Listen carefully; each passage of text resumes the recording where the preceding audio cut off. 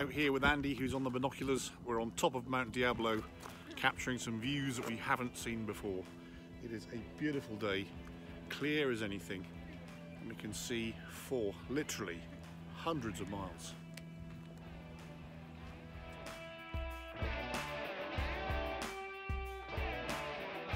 You can just about see the gap straight in front of us, about here.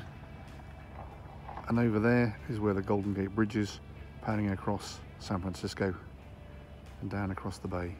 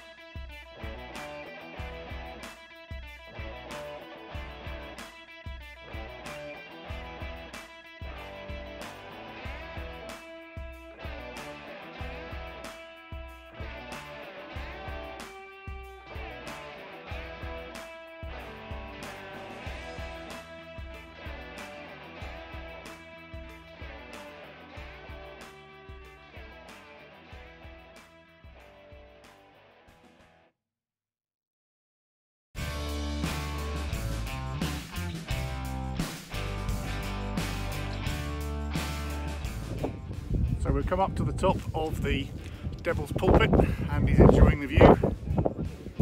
Magnificent today, as always.